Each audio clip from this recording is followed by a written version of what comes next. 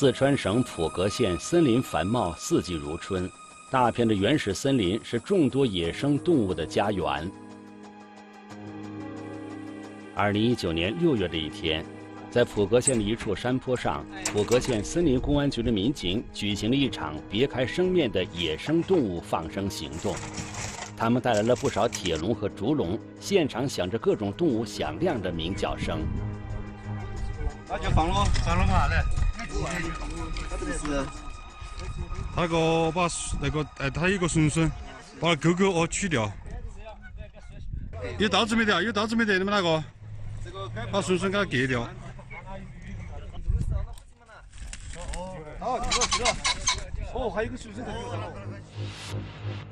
在另一处森林边缘，同时进行着放生活动。民警带来了不少野生动物果子狸。通过这个陡坡，就是繁茂的丛林，动物们就能进山了。哦，这个好恐啊！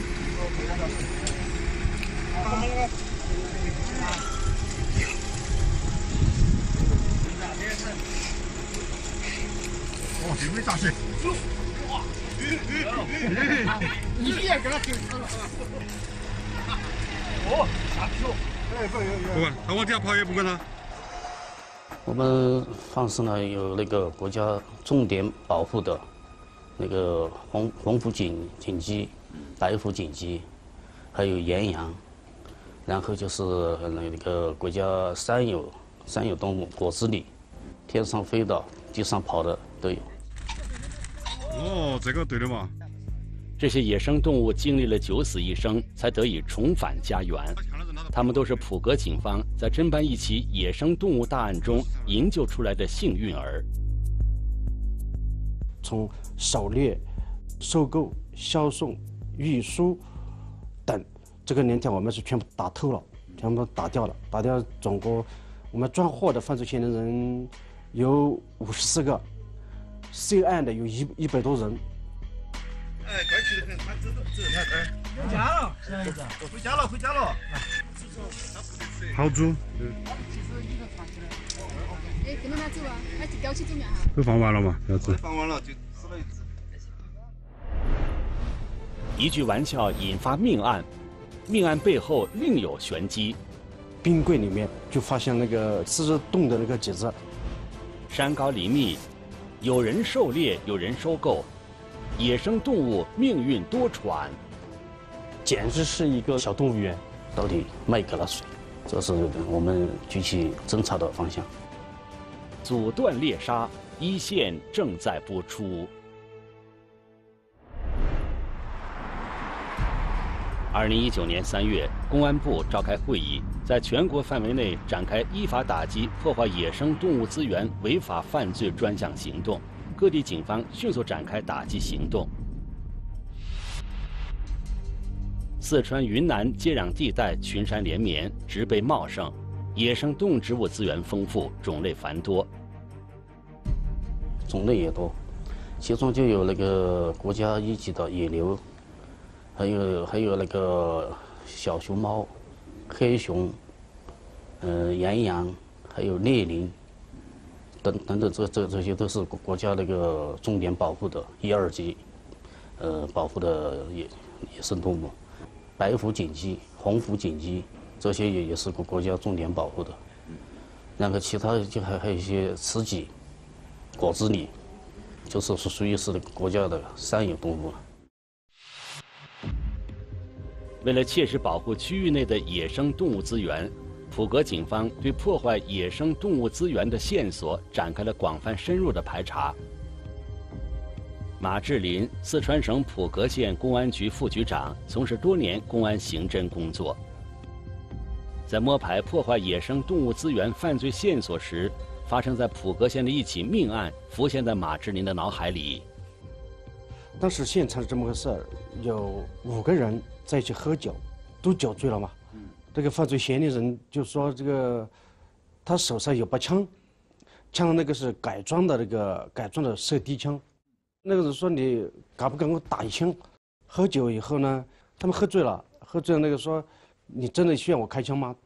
有可能是是属于那种开玩笑的，你敢不敢我打了？那个人端起那个手提枪，一扣那个扳机就给他打死了。在场的人们都没有想到，一句酒桌上的玩笑话，最终酿成了一起命案。经过警方调查，犯罪嫌疑人黄某是四川省会东县人，他和同乡林某从会东县来到了普格县，为的是售卖用于猎捕野生动物的电瓶，无意中竟闯下了大祸。他是那售出售那个手里用的高压高压电瓶，电瓶打猎嘛啊，他们当时手里三只几只，几只以后，他们高兴嘛，高兴在喝酒，喝的我们在那个现场现场处置的时候呢，处置的时候在那个冰柜里面，就发现那个几只，四只冰四只冻的那个几只，也就是说这五个人呢，就是专门从事这个狩猎。案发后，犯罪嫌疑人黄某逃离了现场。普格警方很快查明了这起命案的真相，并确定了案发现场人员的身份。开枪以后，那个嫌疑人跑了嘛？跑了，我们就抓捕。抓捕以后呢，这个后面一个星期以后，他就到那个我们周边县有个宁兰县，他就到那儿投案，我们就寄回来的。这起命案尘埃落定。犯罪嫌疑人黄某最终被判处有期徒刑十五年。面对这起案件，马志林进行了进一步的思考研判。他感觉这些非法捕猎野生动物人员非法持有猎枪和高压电瓶，应该是长期以此为业的人。他们的活动范围在哪里？还有没有别的同伙？在打击破坏野生动物资源专项行动中，这是一条重要线索。发现这个线索以后啊，我们县公安局和那个县森林公安局，我们专门召开了个研讨会。前期是那个侦查是秘秘密的进秘密进行的。侦查员赶到了犯罪嫌疑人黄某的家乡惠东县，为了避免打草惊蛇，侦查员着便装进村，就黄某和同乡林某涉嫌非法捕猎的情况展开了调查。侦查员了解到，黄某和林某常年在山里从事非法捕猎野生动物，他们的主要手段就是利用高压电瓶捕杀各种野生动物。用那个电网把那个它野野生动物经常活动的地方、活动的地方那个围围围起来，野生动物进入它的那个区域，它瞬间那个就会产生高压电弧，这样把野把那个野生动物打死。黄某因为开枪杀人入狱后，李某并没有收手，还在从事捕猎野生动物的营生。他的猎物不是用于自己食用，而是售卖给他人牟利。经过侦查，一个专门收购野生动物的人进入了普格警方的视线。收购人员是，这是我们这个呃我们周边县宁南县的一个一个人，姓艾的一个人。这个人就是主要是。这些野野生动物的收购者，然后呢，他有时间的话，他就自己也亲自上山猎捕，猎猎捕野生动物。侦查员赶到宁南县，找到了艾某忠的家。和别的村民家不同，艾某忠的家四周装有监控探头，侦查员没有贸然行动。经过侦查得知，艾某忠的家果然藏有不少野生动物。确实有大量的野生动物在在他家里面，很多都是那个用用那个铁笼铁笼关关起的。线索渐渐明朗起来，艾某忠是一名大量收购野生动物的人，他的背后一定隐藏着更多破坏野生动物资源的违法人员。艾某某，嗯，他活动范围比较广，人际关系也比较广。他呃一般都是在云南云云南省四川省，嗯批发的走动。当时没考虑动手，嗯，因为我们还还还要，呃，把这把这这条线继续打下去，要找找他他他的下家。二零一九年五月十三日，普格警方上报案情后，四川省凉山州公安局和凉山州森林公安局对这一线索高度重视。抽调州县骨干民警成立“五幺三”专案组，该案的侦查工作随即向纵深展开。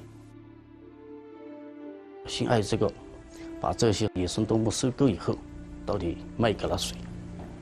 这是我们具体侦查的方向。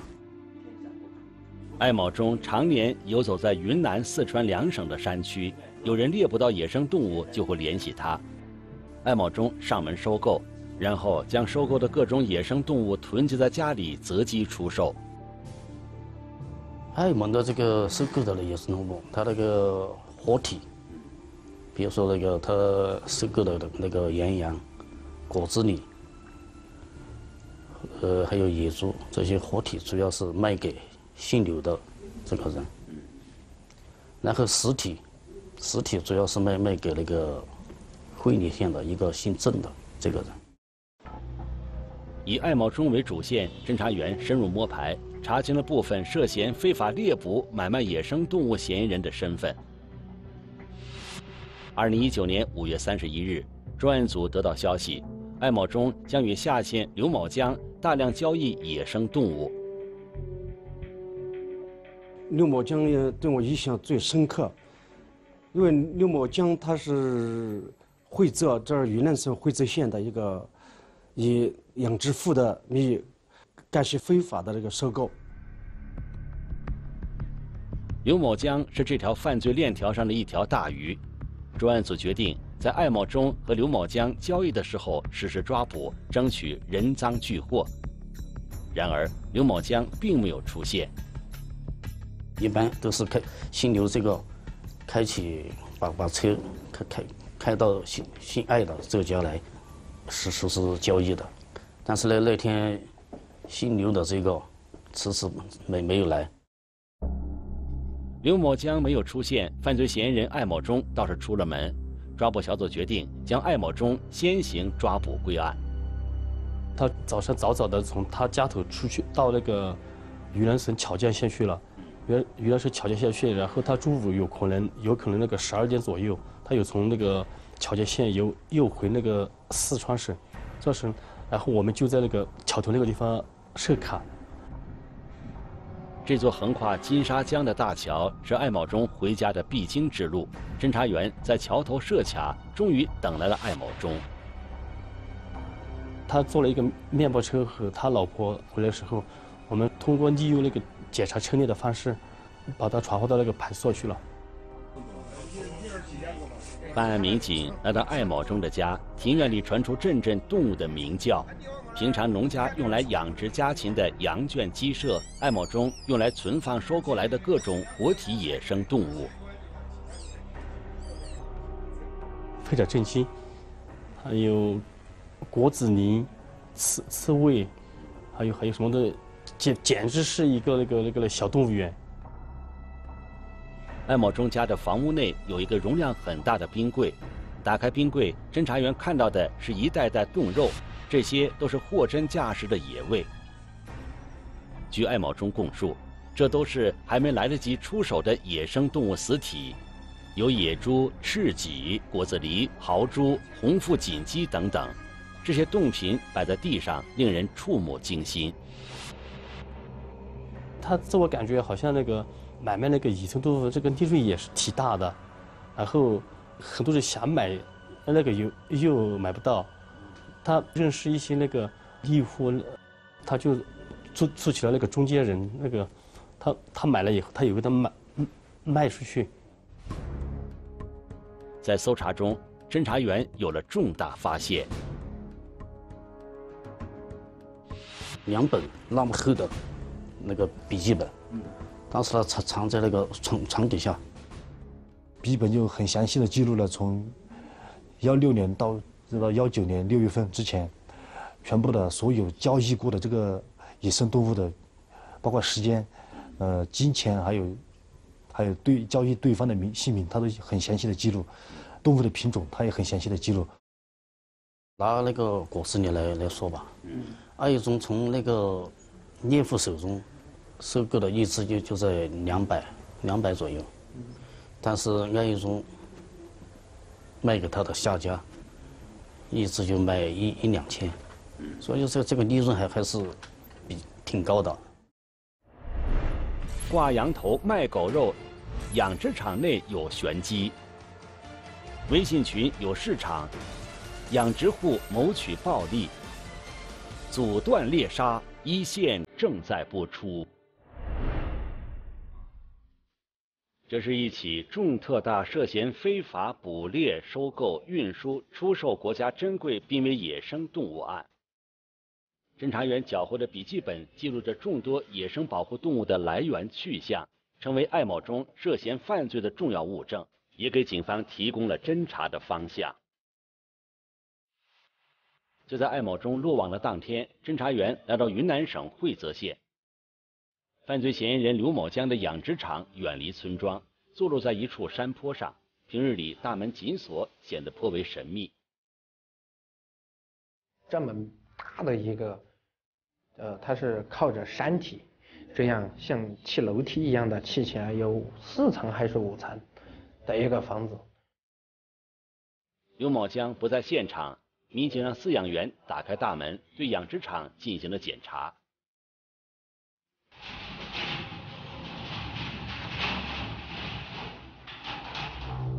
这儿是一二三四五六七，你这不是梅花鹿吗？这不是梅花，这是几只？这是几只？六只鸡子？这是梅花鹿吗？一只、两只、三只、四只。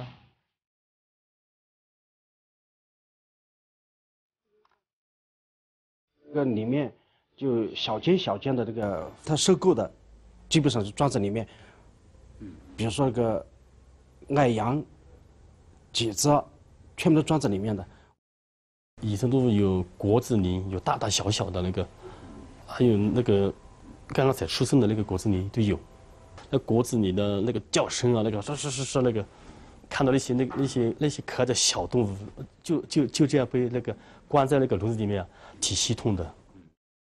去的时候，里面有二三十多只，还装在里面的。还没销售出去的，他也就是打起这个养殖场养殖场的名义，干非法收非法收购野生动物的勾当。刘某江的养殖场办有驯养三有动物的相关证照，然而刘某江养殖场里的赤棘、果子狸等却是直接收购的野生动物，这么做是违法行为。他那个许可证是饲养的是。三有动物，那个雌鸡和和那个果子狸，只有这这两种。但是那个信仰三有保护动物的那个，你来源还必须要合法，要有合法的来来源证明。如果来源不合法，一样是违法的。我印象特别深是啥？几子是前腿关节以下是没的，就是靠三条腿跑。所以当时刘某江狡辩就说：“我的东西全都是养的。”我说，谁养东西会把脚给夹了？办案民警发现，养殖场里有两只国家二级保护动物斑羚，这种野生动物显然不在准许的驯养之列。斑羚就是从我们四川凉山岭南这边非法猎捕了，然后他收购过去的，它的来源是这样，我们掌握下来是。我们经过呃云南昆明那边司法鉴定中心野生动物的司法鉴定中心鉴定以后，确实它就是斑羚。然后就不是安阳。他办的证是那个驯养那个三有动物的，国家重点保护的没没没有办。刘某江向警方提供了两只斑羚的来源证明，说是从外地引种得来的。经过民警查实，刘某江所持的引种证明不实。一个那个引种证明是是在那个贵州，贵州的黄平。我们也拍拍了那个干警，亲自到黄平市也核实他他的到底他他的是真的还是假的，但是核核实下来这个是假的。还有一个是在湖南湖南，湖南我们也派派人去核实了，也是假的。随即，办案民警对刘某江的家里进行了搜查，结果证实刘某江从事的不是所谓驯养野生三有动物那么简单。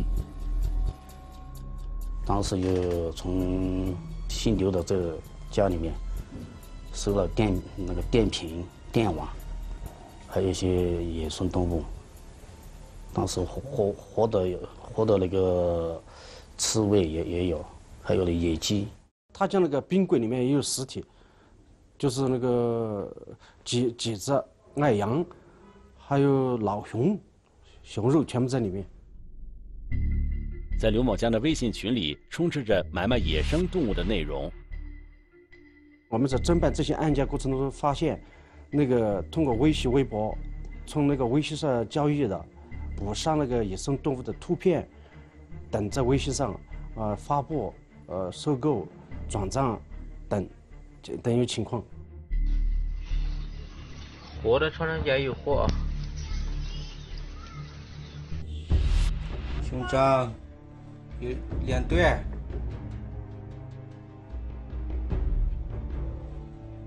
等下穿山甲的赶紧了，只有两只了。手机上还有什么杀熊的视频都有，都是在他的养殖场，在养殖场里面杀熊。他是在猎户手上收购这个非法猎捕的这些野生动物，包括三级的有，然后二级，然后一级的都有。证据表明，刘某将长期大量收购野生保护动物。用于转手倒卖谋取暴利，把这些野生动物收购以后，就还出卖嘛，卖卖给那个餐餐饮，还有些就是一些普通的消费人群走上了餐桌。语音聊天嘛，然后他就说，保刘某江就说，我卖的东西保证是纯野的，山上跑的野的，然后买的人又说，你要卖给我的是野的哦。一定是要野的哦，家养的不要哦。取证非常顺利，然而抓捕刘某江的时候，普格警方遇到了不安。我们去抓捕的时候非常危非常危险。他当时威胁我说说他这样说的，他说你相信我可以跑掉。他的亲戚嘛，就用那个拿起那个寸棒、刀子、斧头，就来。就来就来围攻围攻我们。马志林等人当场以法律宣讲予以震慑，得到当地警方及时增援后，犯罪嫌疑人刘某江终于被办案的民警带回了普格县。专案组经过精心研判部署，一场大规模的抓捕行动展开了。为保自家庄稼捕猎物，村民得不偿失。为满口腹之欲吃野味，时刻后悔莫及。阻断猎杀一线正在播出。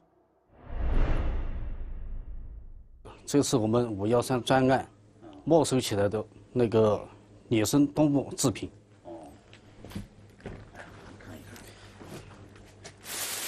像这这一袋里里面装的就是那个野猪肉。这里面装的就是那个脊子肉，十脊，脊子肉。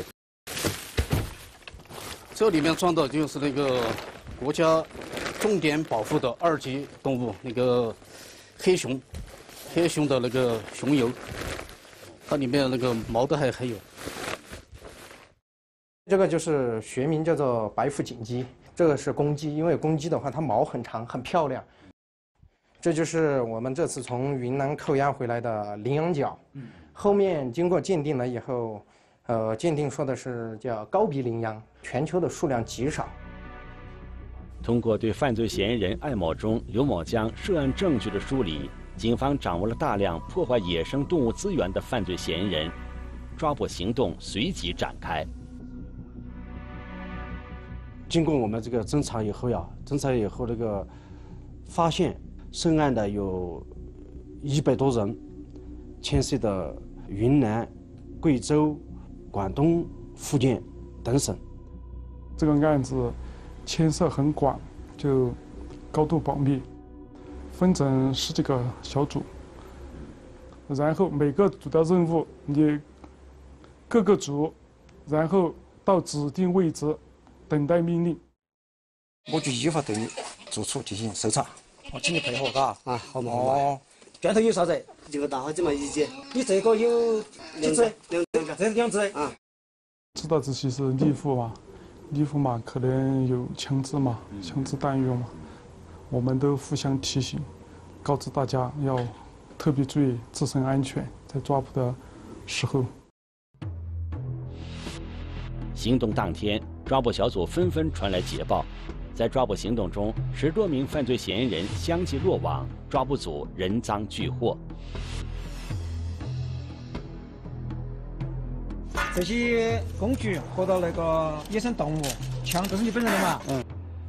犯罪嫌疑人蓝某清是艾某忠的老乡，他通过艾某忠结识了专门收购野生动物的刘某江。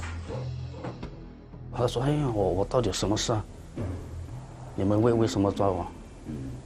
然后我就上去提醒了他一下：“你是不是家里面有电瓶，有猎枪？”坐下，他他一下一下知道，他可能可能是这个，因为他那个猎猎捕野生动物的事来了。在蓝某清的家里，办案民警搜出了猎枪和专门用于捕猎的高压电瓶，还搜出了许多没有来得及出售的野生动物死体，有那个猎捕的电瓶、电网。还有猎猎捕野生动物的那个枪支，还有子弹，还还剩下有两包那个黑熊的油，琼崖，还有从从他家里面已经制作好的两个那个白虎锦旗的标本。我们说，你打个猎没有？他说打个了。嗯，你打的这些动物卖没有卖？他说卖了。说起打猎的原因，蓝某清似乎有些委屈。几年前，他的田地里时常有野猪出没，毁坏了不少庄稼。为此，他在地边设置了高压电网，还准备了一把猎枪用来打野猪。没想到，这些捕猎工具让他收获了不少野生动物。他住的那个山山林啊，也也比比较茂密，那么经经常有那个野猪出没。所以他他这个买买这个电瓶，主要是来打那个野猪的。嗯嗯。结果，那个打打到了一只黑熊。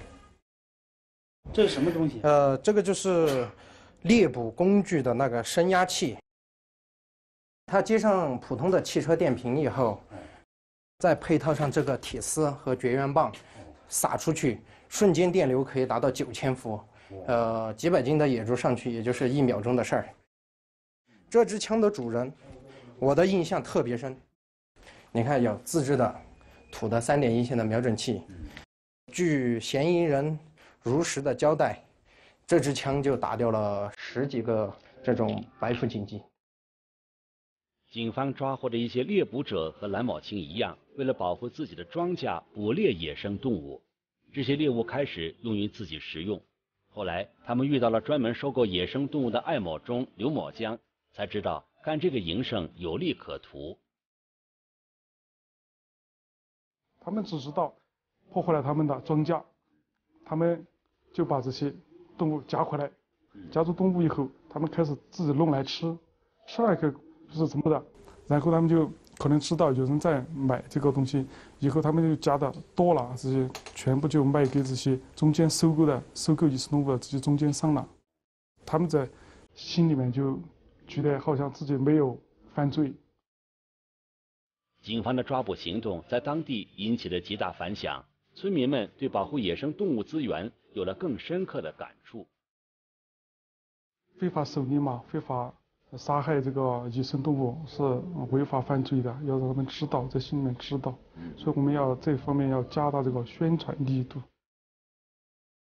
在被带上警车时，犯罪嫌疑人蓝某清感到后悔莫及。他就问了我一句：“我会不会影响到我的孩子？”当时一下我就有一点愣了一下，我就问他：“你说这句话的动机是什么？”他说：“我的两个孩子是一本大学生。”根据掌握的情况，专案组继续扩大战果，先后抓获犯罪嫌疑人五十四人。扣押斑羚、白腹锦鸡、眼角鸡、果子狸、赤脊等各类野生动物活体二百零七只，各类野生动物死体二十五只，各类野生动物制品一百一十七件，缴获大量高压电瓶、枪支弹药、炸药夹子等捕猎工具。这起案件呢，可以说是狩猎、收购、销售一条龙的，一条龙一条龙的这个犯罪链条，嗯，这个打掉了野生动物的一个犯罪链条。没有买卖就没有杀害。正是捕猎、贩卖野生动物有利可图，才让很多人以此为业，逐渐形成了一个破坏野生动物资源的完整犯罪链条。那么的话，上家就是谁呢？也就是说，从事一线工作在山上猎捕的；中家，也就是中间起二传手收购再转手出卖的；下家的话，就是说到餐桌上实际花钱买的。为了彻底打掉这个犯罪链条，普格警方对销售终端进行了彻底调查，一些食客浮现出来。以为个人有钱，你买点野味吃，我又不去打，我是付了钱的，可能不是个啥事儿。没有吃过这些东西，那就要尝一下到底是什么味道。有很多人有有这个好奇心，因为没有他们买的话，没有市场。那谁还上山去打？这一次我们这个案子办的与众不同的一点，就是说连买来吃的人都给打击处理和教育了。民警苏元明在办案中负责调查数名末端购买者，在对犯罪嫌疑人讯问过程中，苏元明感触颇深。一个嫌疑人就说了一句：“买是我买，钱是我出，客是我请。”坐牢就是我一个人来，他后悔莫当。我问他这玩意儿好吃不？他说真的没有家里面养的羊子好吃啊。